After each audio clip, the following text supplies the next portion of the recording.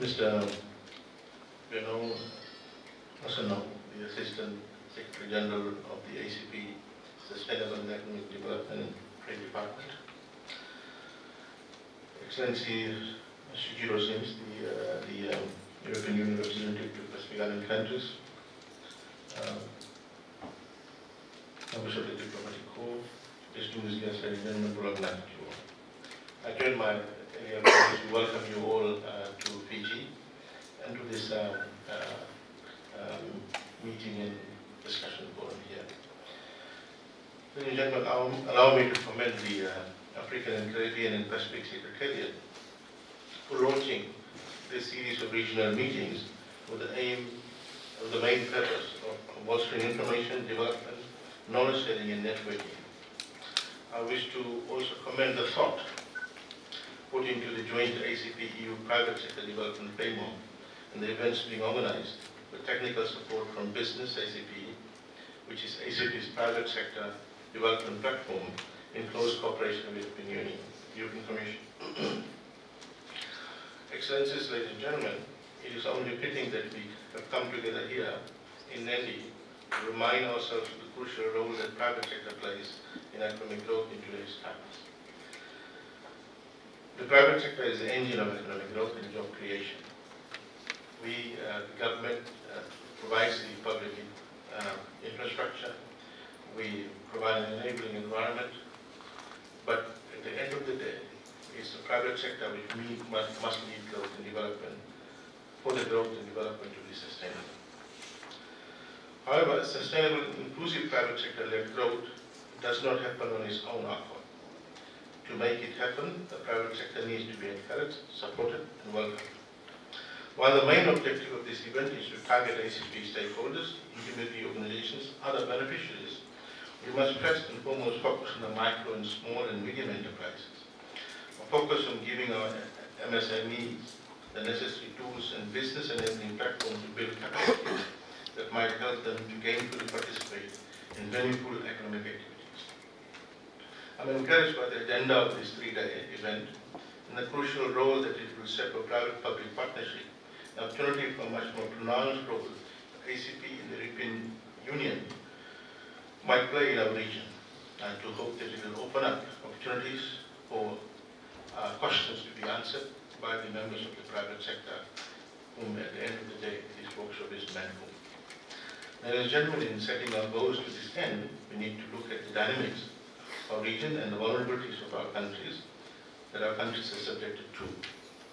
We as small, Pacific small island development states are already acutely aware of the vulnerabilities that has long defined our development pathways and projections. Mindful of these vulnerabilities, can we then beg the question, how do we keep up with the pace of an ever-changing global environment and business context against the backdrop of shocks caused mostly by large economies, or trading partners, in international disasters? How do we build resilience, our ability to bounce back from shocks? The answer to sustainable, fair, and green business practice is both awareness and appreciation of the impacts of a business decision and practices placed on our environment, our economies, and our people. It's therefore useful and timely that this meeting is taking place on several new intra-ICP projects. Substantial private sector financing facilities are being launched and expanded to help seek out these answers under the 11th European Development Fund, the European External Investment Plan. If you read, um, heard closely the address by Berta Sutino, since would have noted the pockets of uh, funding available. And one may um, conduct whether we can really access this. There are two aspects of uh, these funds. One is the ability to uh, access, fulfilling all the requirements. And the second is the governance framework post um, accessing those, those funding. No one in the region denies that there must be a proper governance framework for utilization of the funds. Accountability and transparency paramount. No one denies that we must get the maximum amount of the, the, resources that will be provided by the. But the issue is not that, that that's been often raised by members of the private sector. The question that often raised by members of the private sector is that how do we assess these funds? how do we meet the requirements? There are often, many times, of pockets of money, but the requirements, accessibility, is designed in a manner as if you basically want to block people to have access to funds. So I do hope that this uh, three-day meeting workshop will be able to deal with those to make the accessibility part very much easier without compromising on the second aspect of governance. Ladies and gentlemen, there is an urgent need to strengthen and transform the ACP group and the Secretariat as a global context has radically changed the first Lomé Convention. So, so the discourse should also look at what are these changes uh, that are required, keeping in mind the area issue that I raised.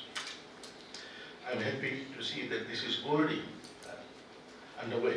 ACP is positioning itself to be a major global player in sustainable development of ACP member countries.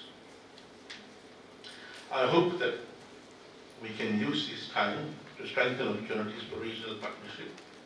And I hope that regional countries will share the issues and, and raise these issues in a common voice to be effective.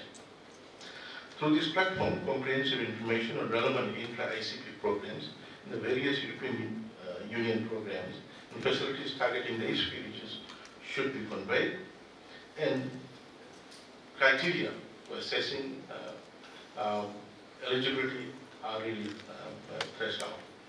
It is also important to have a high degree of interaction among ICP private sector participants. Now I do hope that those who are not here today are also um, given opportunity uh, to um, participate uh, and access these, these funds. Let us commit therefore to make available the right and smart financially inclusive solutions to really um, achieve the intended target and the, the, the intention of this, uh, uh, this project that European Union is wanting to um, get to the state and, and the ICP, ICP member countries. We need to review our current conditions, create an economic environment that meets the goals and targets of each of our national development plans, and have these aligned with the global development plans, such as the Agenda 2030. Let us seize the unique opportunity this workshop affords us. Ladies and gentlemen, uh, with this workshop, I wish you well in your three-day workshop, and I uh, look forward to receiving the results of your successful deliberations, and I look forward to um, um, seeing the uh, stats on the pickup uh, rate, the number of um, uh, players in the private sector. I see some uh, players here that deal with agriculture. Um, at times they come to us, um, and I always say, tell them that, you know, we don't bankroll, um, investors. We are here to provide an enabling environment, um, the legislative framework, and we do invest in uh, public infrastructure. But um, these are the you know, uh, opportunities, of course, the financial sector is there, and I do hope to see um, this, this place actively getting into accessing these funds and leveraging us from the commodity framework to product framework, value adding, so that you know, we do a lot of work downstream here, and uh, maximum benefit is derived uh, by our people, and uh, we gain